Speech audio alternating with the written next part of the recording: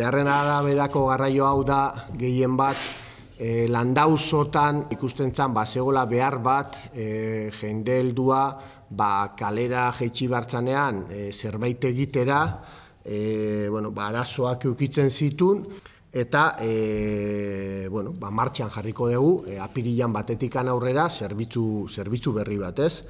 E, zerbitzua erabiltzeko aukera izango dute ba, bueno, ba, tolosara geizteko e, dozein e, gauza egitera e, azken finean, e, bueno, ba, urbano zerbitzu bat e, beraiei e, egokitua, ez? Ordutegi finko batzu markatu ditugula, eta ordutegi hauek jungo dira astelenetikan larun batera, bi e, erabilpen izango dituzte goizez, eta bi arratsaldez. E, jai egunetan ez da zerbitzua eskainiko, esan behar da, goizeko lehengo orduko tasia, tasi zerbitzu hori erabiltzeko deitu beharko dela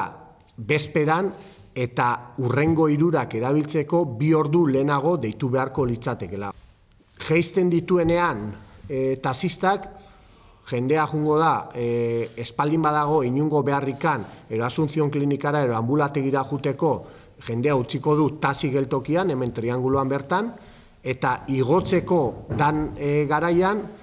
tasi hartu beharko da zezen plazan. E,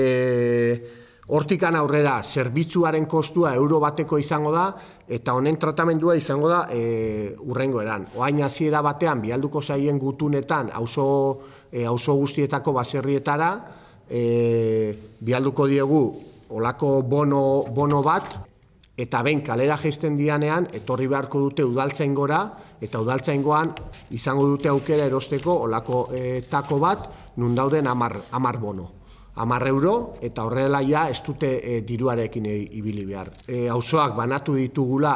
e, iru, iru taldetan, alde batetikan urkizu eta aldaba txiki,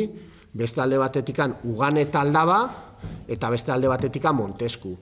e, azera baten froga piloto badenez auzo hauekin e, astea nahi dugu eta honek ez du esan nahi e, ba, bueno, beste auzoak e, dauzkagunak Usabal, Santa Luzita e, geratzen dianikan e, ba, alde batera baizik eta berez eskaera e, auzo hauetakoa geneukan gehien bat eta beraiekin e, landu nahi dugu hasierako proiektu hau.